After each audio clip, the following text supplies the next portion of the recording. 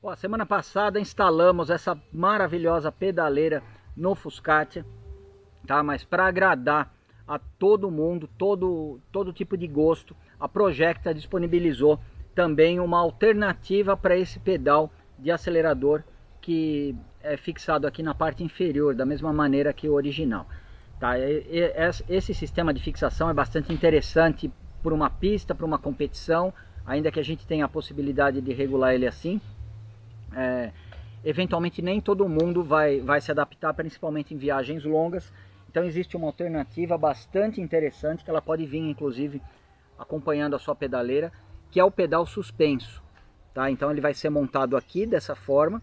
A gente vai montar ele hoje inclusive no, no Fuscatia, mas eu vou da mesma forma que eu fiz a semana passada, eu vou mostrar a montagem dele fora do, da pedaleira ali para que fique bem claro e não reste nenhuma dúvida.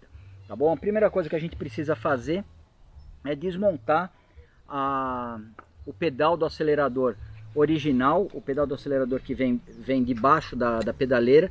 Aqui a gente tem um parafuso Allen que fica embutido.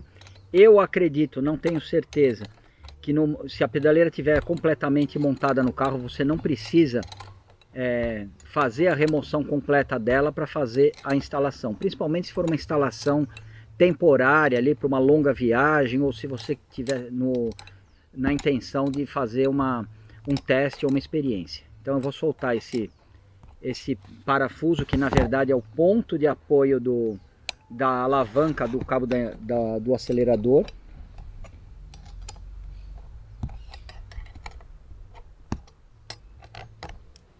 Prontinho, o pedal já cai para frente. Aqui dá para perceber que o, eu, eu acredito que esse para, o parafuso ele seja colado aqui. Então a, existe a possibilidade com certeza de você fazer a, a substituição do pedal com, com tudo montado ali, com a pedaleira montada no lugar. Tá? Outro próximo passo que eu vou fazer é soltar esse parafuso Allen, que é parte do, do eixo da pedaleira, nada daquele eixinho fraco que com o tempo ele acaba escapando, o pedal de plástico acaba ficando torto. Desse lado a mesma coisa. Lembrando que aqui se tiver montado no carro, provavelmente você precisa segurar esse esse parafuso Allen aqui com alicate de pressão, alguma coisa. Por isso que eu estou fazendo a, a substituição do conjunto com ele montado no... É, ou melhor, com ele fora do, do, do carro, com ele desinstalado. Então vou só soltar essa outra porca, puxar esse segundo parafusinho. E a gente já tem a pedaleira liberada, só com o pedal da embreagem e o pedal do freio. E agora eu consigo fazer a montagem do acelerador suspenso. Para fazer a montagem a gente vai manter esse parafuso M6. Eu vou encaixar o, o suporte da, do pedal suspenso dessa forma. E eu vou montar a porquinha. Opa! Eu vou montar a porquinha aqui nessa, nessa posição. Mas eu não vou dar o aperto final. Por quê? No momento que a gente estiver montando a pedaleira no carro, ou mesmo se você estiver tentando fazer essa operação com a pedaleira montada no carro, e é possível, ainda que você vai ficar com esse parafuso aqui, porque não vai ter como retirar ele, eu, pelo menos é o que eu imagino, que não representa necessariamente um problema, a não ser o teu incômodo é, estético. Aqui a gente vai precisar fazer um pequeno ajuste é, de ângulo assim, para que os dois parafusos M10 eles encontrem primeiro esse suporte e, e depois o suporte da, da pedaleira propriamente dita. Então a gente vai precisar fazer os furos coincidirem, colocar os dois parafusos aqui na, voltar os dois parafusos na pedaleira e aí por último a gente dá o aperto final aqui. Isso a gente só vai fazer quando ele estiver montado no carro. Tem um detalhe bem legal que a gente consegue montar a pedaleira suspensa da Projecta na pedaleira original. Então você está cansado do problema da folga do pedal, da folga lateral do pedal original aqui, mesmo que seja aquele de metal antigo ou aquele de plástico que seria um paralelo, você consegue desmontar aqui, tirar o, o bracinho de acionamento aqui através desse pininho que vai sair e montar essa pedaleira. Tá? A diferença, o detalhe que você tem que se atentar, ela não vai montada aqui na parte de, de fora, vamos dizer assim. Você vai soltar esses dois parafusos, vai afastar um pouquinho a pedaleira do túnel e vai colocar ele aqui, ó. Tá? Essa distância de 4 ou 5 milímetros que ele vai deslocar não vai interferir na, no mecanismo de acionamento da embreagem. Então ele fica montado assim, a pedaleira fica um pouquinho deslocada para a direita, tá? Isso te traz dois benefícios. Primeiro, abre um pouquinho mais de espaço para o pedal do acelerador e o segundo, aquela questão da ergonomia que a gente estava falando no vídeo da semana passada. Você desloca, ainda que apenas 5 milímetros, tanto o pedal do freio quanto o pedal do, da embreagem.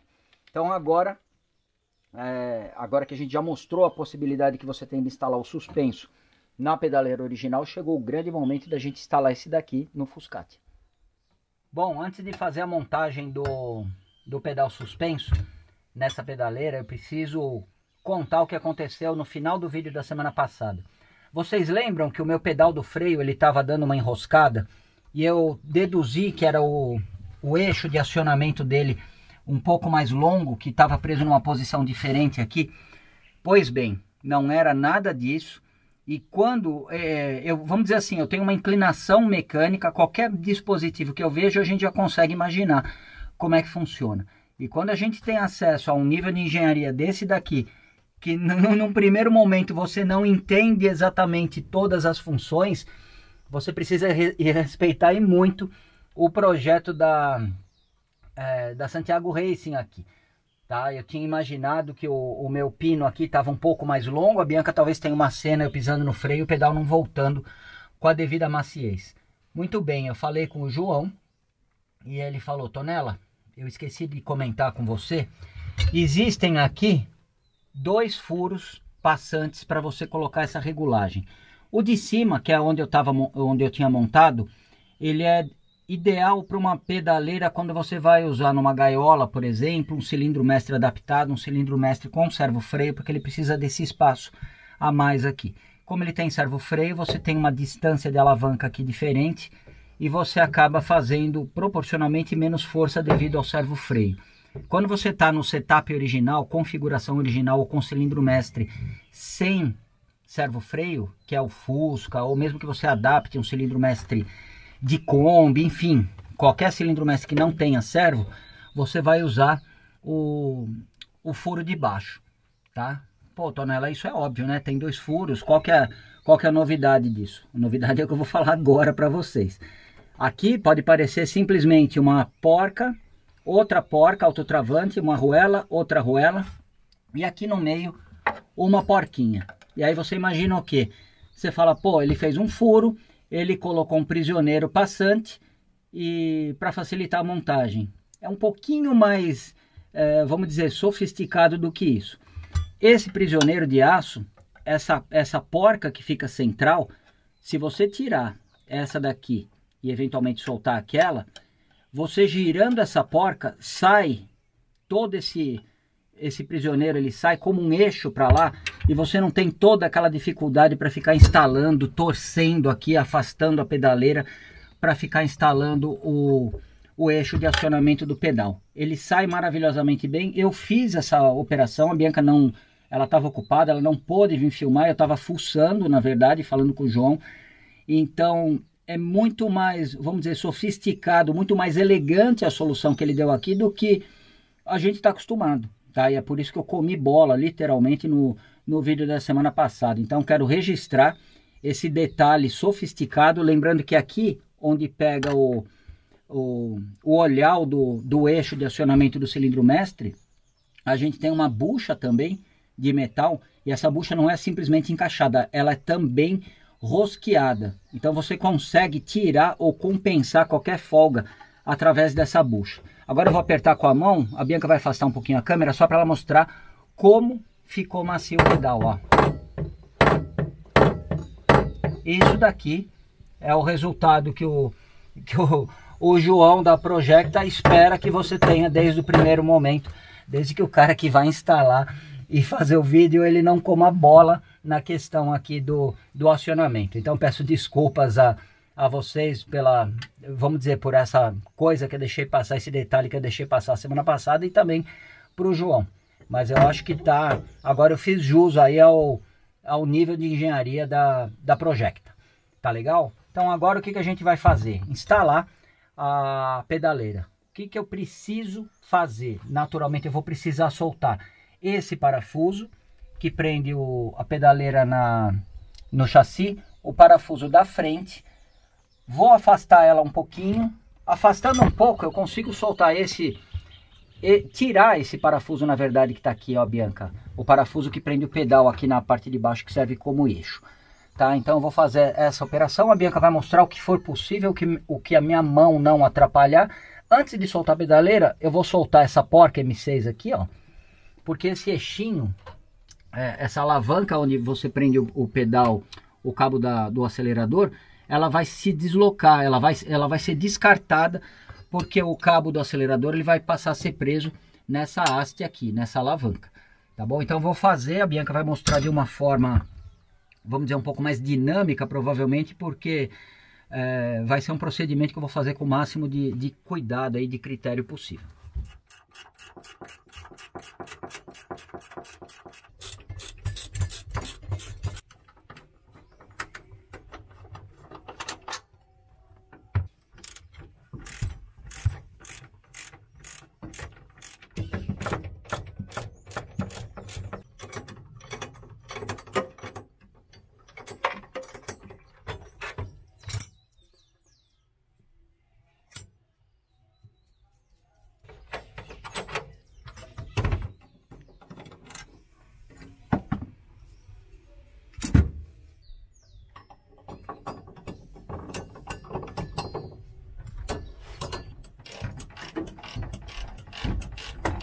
Acabou que eu tive que tirar o, o eixo de acionamento do cilindro mestre, porque senão não conseguiria deslocar a pedaleira para tirar esse parafuso interno que segurava o pedal do acelerador. Mas está aqui a peça que, é, apesar de ser só um prisioneiro, é muito engenhosa a solução que o, que o João encontrou. Eu vou colocar, agora fica bem mais fácil de mostrar. Ela entra dessa forma. No momento que ela passa aquele vamos dizer, aqueles dois suportes, essa porca fininha, ela vai ficar no meio de um suporte e ela que vai puxar o, todo esse conjunto para cá e aí depois a gente só coloca a contraporca aqui. O espaço é bem limitado, você consegue fazer isso com espaço de, de um milímetro praticamente. Só para você ter uma ideia, para colocar essa porca, você tem que colocar a porca na posição antes de deslocar o eixo por completo. Eu vou fazer a montagem, a Bianca agora não vai Infelizmente não vai conseguir mostrar porque o pedal do acelerador está na frente. Bom, aqui está tudo escuro. Eu vou tentar demonstrar com a chave de fenda. Aqui ó, existe como se fosse um, um rebaixo, uma canaleta. Eu vou mostrar instalar só o pininho sem o, sem o eixo. Só para vocês terem uma ideia, o caminho que ele tem que fazer. Se a Bianca conseguir mostrar, ó, eu deixo ele assim, coloca ele aqui. Aí o pininho vai entrar ali, ó, aqui e ele tem como se fosse uma canaleta para para para dar o espaço. Ó lá. E aí ele ele encaixa no ó lá. Tá? E aí ele encaixa. Agora eu vou colocar o parafuso. Ou melhor desculpa a a contraporca. E eu vou fazer a montagem devagar. E aí é só colocar o o olhar do, do eixo de acionamento na, na posição.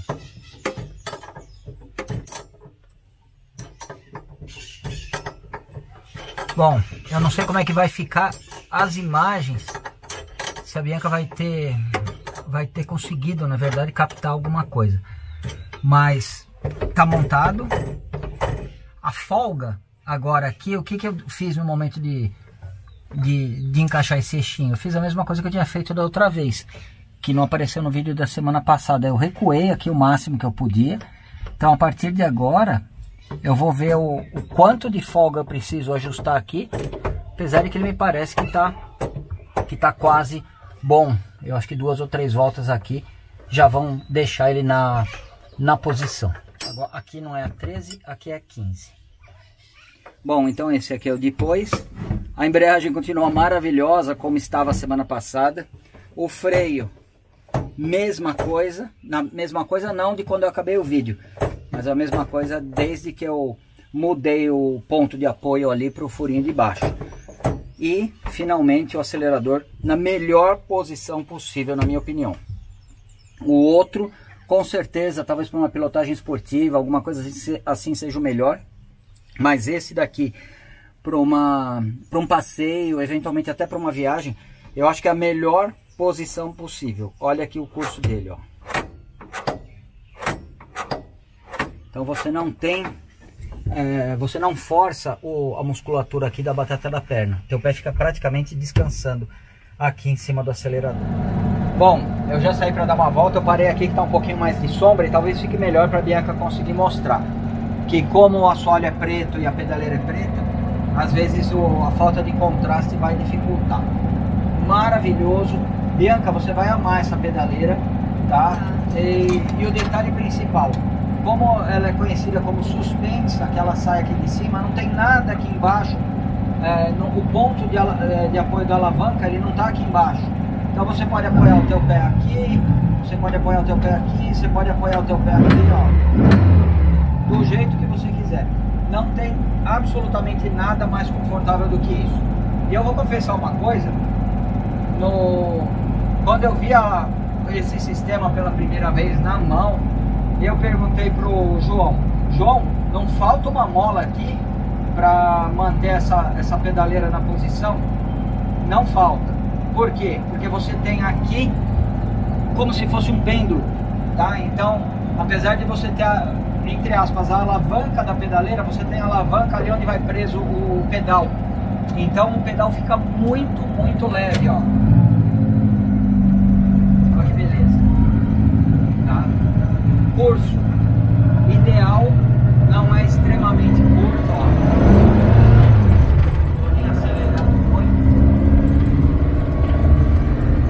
Mas ficou maravilhoso. Pra mim, o meu gosto pessoal, essa é a combinação perfeita. E eu acho que quem pretende usar o Fusca esporadicamente, final de semana, passeio tranquilo, não vai para o autódromo nem nada, esse é o setup perfeito. Você consegue deixar a tua perna direita apoiada, recuada inclusive, para uma viagem longa isso é fundamental. Freio, toda a precisão possível e maciez no pedal por conta do, dos rolamentos. embreagem, a mesma a mesma situação. A gente tem a folga necessária para você não estrangular a embreagem aqui e tem aquela, vamos dizer, aquela pequena margem de segurança para quando você está tirando o pé, a embreagem começar a desacoplar. Resumo, mais do que aprovado, quero parabenizar mais uma vez o, o João. Aqui a gente está lidando com um nível de engenharia um pouco acima daquilo que a gente está acostumado, tanto na manutenção convencional do Fusca, como é, em boa parte dos acessórios, para não dizer todos os acessórios que a gente acaba, acaba instalando nos carros. Tá? Então, está mais do que aprovado. Lembrando, só para finalizar, você pode usar o alívio da embreagem com a pedaleira original, você pode usar a pedaleira é, a pedaleira esportiva sem o alívio da embreagem, com o alívio da embreagem, e eu recomendo muito essa combinação, tá? Porque aqui você tem um pedal com o curso ideal e ele casa perfeitamente com, com a, a alavanca do alívio. Donela, sonho com esse resultado, mas no meu Fusca, que é praticamente todo original, essa pedaleira não combinaria. Então, aguarda mais um pouquinho que a Projecta vai ter a solução para você. Imagina uma pedaleira com aparência original e com toda a qualidade da Projecta, roletada, sem folga nenhuma, tira uma, coloca outra e você ainda tem a possibilidade de usar com alívio da embreagem ou sem ele. Então para você que quer manter uma aparência um pouco mais original e acha que essa, essa pedaleira vai acabar destoando do teu carro, aguarda só mais um pouquinho, que logo logo vai vir esse lançamento, tá bom? João, parabéns mais uma vez, não, não canso de elogiar o teu produto, porque realmente é, é diferenciado. Eu quero agradecer a parceria e a oportunidade de, de instalar essa pedaleira aqui. Para o pessoal que estiver interessado não só na pedaleira, como toda a linha da, da Project, a Bianca vai deixar aqui na descrição do vídeo o WhatsApp de vendas, é um canal de vendas direto, você vai ter o melhor preço, não vai pagar tarifa de Mercado Livre, você consegue comprar direto com a equipe de vendas, seja pedaleira, seja o alívio da embreagem, ou seja uma duplo A, tá bom? Uma suspensão completa. Então é isso daí. Muito obrigado por assistirem aos nossos vídeos e muito em breve a gente volta com mais um produto da Projecta para apresentar aqui no canal. E muito provavelmente o próximo que a gente vai apresentar é um pouquinho maior do que essa pedaleira. Tá joia? Obrigado e até lá!